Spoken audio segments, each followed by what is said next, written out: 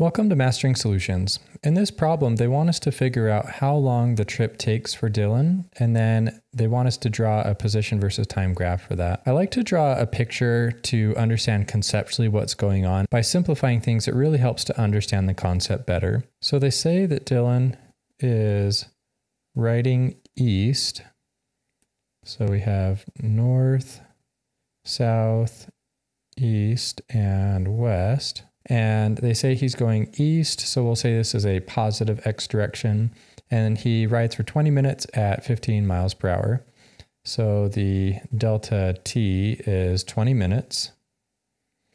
And the velocity is 15 miles per one hour.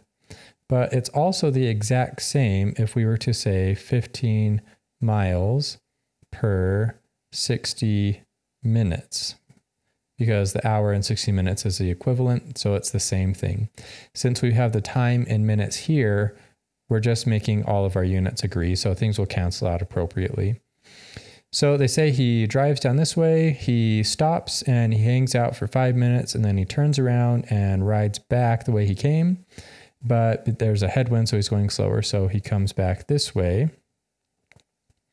And we don't know how long this section took and we don't know how fast he was going. And they tell us that because of the headwind, his speed here is 10 miles per hour, or just like we did above, it's 10 miles per 60 minutes. So what we have up here at the top is we don't know how far he went. So what we're going to do to understand it like we were talking about is we need to figure out the distance that he went and then we'll use that down here to solve for the time. Now we'll have the time for this section, how long he stopped for, and how long he's going here, and we can just add them all together. So let's first write down the equation. Of course, we're going to be using the velocity equation, which is the delta x over delta time.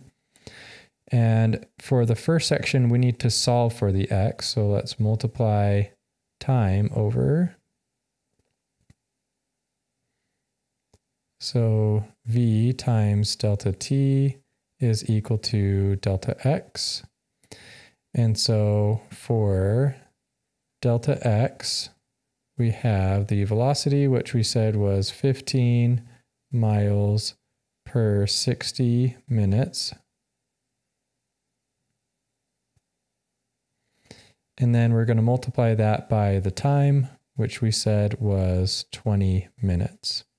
So now you can see where we were talking about the minutes will cancel and we'll be left with just miles. So it's much easier. So now we have 15 divided by 60 multiplied by 20. So the distance that he went was five miles. So right here, he went five miles distance. So now remember that velocity is a vector, so there's a magnitude and a direction. So when he's turning around and going back, the delta x for this section here is a negative 5 miles now, and the velocity here will also be a negative 10 miles per hour or 10 miles per 60 minutes. So now for this section, we need to solve for the time. So we're going to start off with what we just solved for on the other side. We have delta x is v times delta t, but we're trying to solve for this. So we'll isolate by moving v over. So delta t is equal to delta x divided by the velocity. So now we can plug everything in. So we know that he went a negative five miles And then he went a negative 10 miles per 60 minutes. And so now when we divide by a fraction, we are multiplying by the reciprocal, the miles will cancel and we'll be left with just minutes.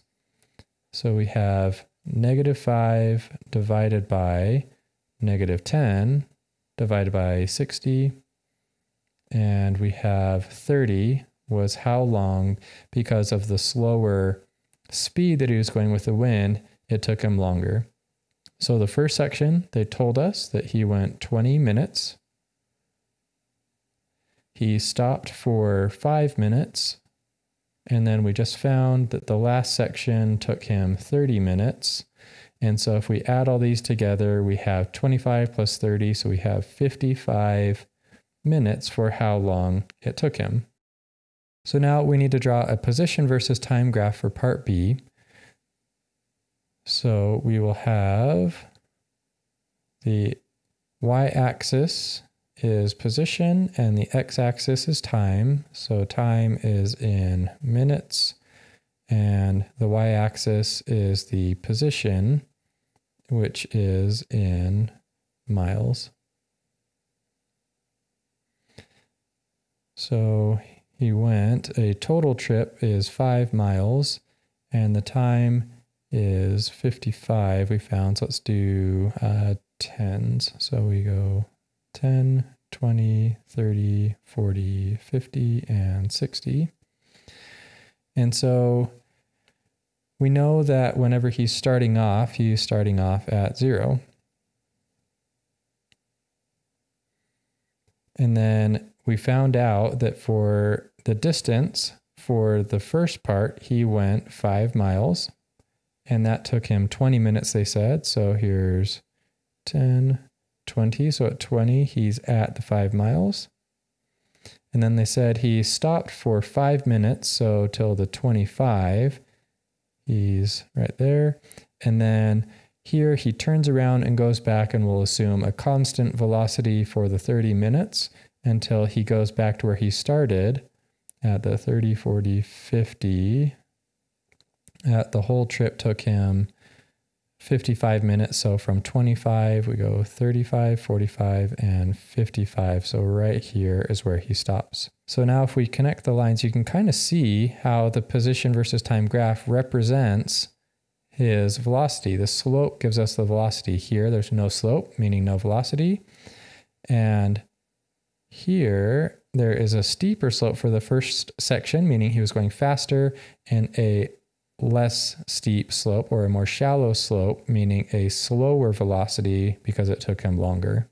So here is the position versus time graph, and then the whole trip for part A took him 55 minutes.